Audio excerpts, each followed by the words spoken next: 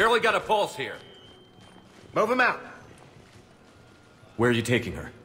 Huerta Memorial. Best care in the Citadel. We're not going with? We need to see the Council. Right.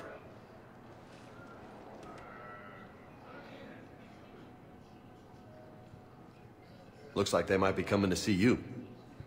Commander Shepard, got word you were arriving. Captain Bailey, good to see you again. Yeah, you too. Though it's Commander now. Congratulations. Uh, thanks.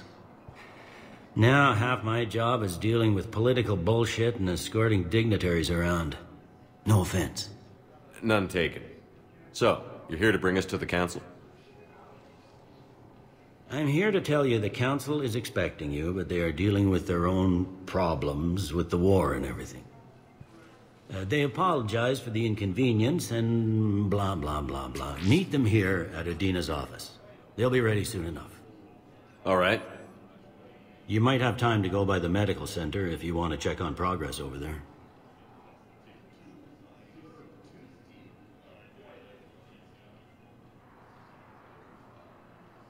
Thanks. I might do that. You go on ahead. I'll head up to Udina's office. One of my men can show you the way. You?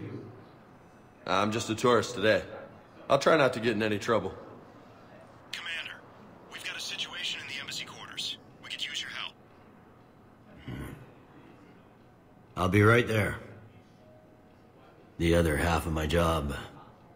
I'll see you around, Shepard. No doubt.